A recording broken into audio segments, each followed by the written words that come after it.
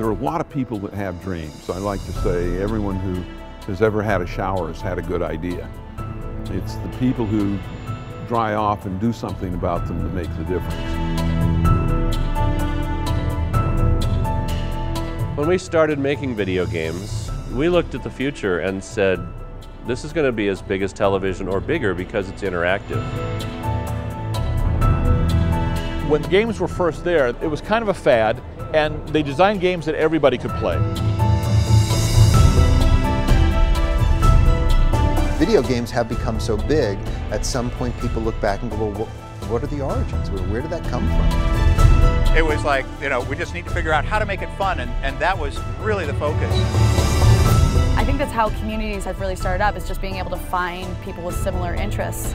You know, when, you, when you're a kid, it's really only like if your next door neighbor play, but now we're all adults and have the ability to reach out and connect with someone else.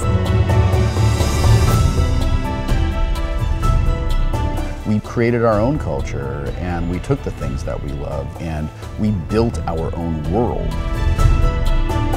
You can do whatever you want. You can fly, you can be a superhero, you can be a villain, you can be a goblin. Economically, they speak for themselves. Video games gross more than movies these days. So many things have to perfectly sync up for it to work. So I think a good video game, I think, is probably the hardest thing to make. I think the most exciting part about this industry is that we're constantly inventing. When we're making games, until it's up and running and you can feel it, you never know what you're going to have. It's really tricky to predict the future, but video games I feel like are inching towards the holodeck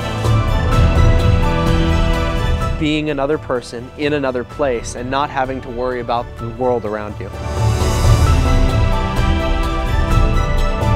I think video games are going to be unimaginable, where you can't tell fantasy from reality and you can live the dream that you've always wanted to live.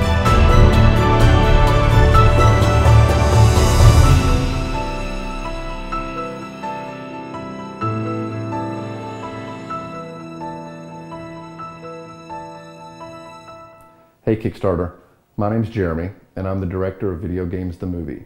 And I hope that trailer gave you a real sense of the film that we're trying to make, the story that we're trying to tell. Video Games the Movie is a feature-length documentary about not just the history of video games, but where games are now, gamer culture, how games are made, uh, how an idea becomes a completed game experience. Uh, we also go into the future of games, where are games headed? But more than that, you know, a big, a big goal of mine has been to break down a lot of the misconceptions about, about gamers, about the games industry. I've been a gamer my whole life, and I know that we're a passionate, dedicated community of people. The public at large, you know, has a lot of the, those knee-jerk reactions of, all games are violent or all games are time wasters. Where we are now is we've shot the film. That's the good news. The bad news is I've, I've kind of exhausted all of my own resources. I, have been funding this out of my own pocket for the past year, filming across the country at all the major game publishers and developers, as well as interview a who's who of industry icons. I'm coming to the Kickstarter community now because I need help to, to get across the finish line. Post-production involves things like editing, music, music licensing, archival footage, uh, all the things involved to, to bring the film together.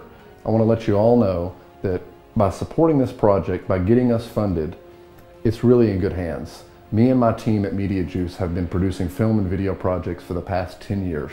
Uh, any way you can support, whether that's uh, donating or, or sharing the link with your friends via Facebook, Twitter, Reddit, uh, just getting the message out there. Uh, I'm really hoping that you know the the gaming community, the film community will come together and with your support and our experience, we can make a great film that we'll all be proud of. Thanks for watching.